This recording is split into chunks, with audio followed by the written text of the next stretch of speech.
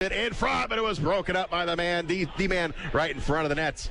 Now down in the corner, big hit on Schaafsma. He hits the deck, and now we have got the fisticuffs.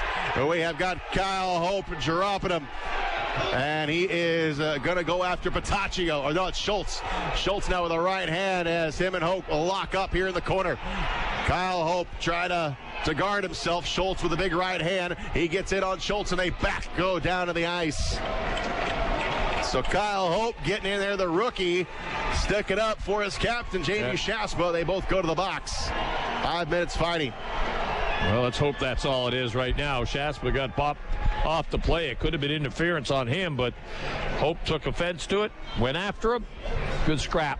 And we will take a break. You're listening to Komet Hockey on WOWO. Outback Steakhouse invites all Komet fans to check out their great menu of steaks and seafood at their Village of Coventry location. Whether it's the center cut sirloin or the bone in ribeye, you just can't beat the quality of Outback Steakhouse. Open seven days a week. Get your steak or seafood prepared just the way you like it. And while you're at Outback, don't miss out on the famous bloomin' onion. Outback Steakhouse located in the village of Coventry, just off the I 69 Jefferson exit on Fort Wayne's southwest side. Komet Hockey is brought to you by Auto Owners Insurance and Gregory Associates in Fort Wayne.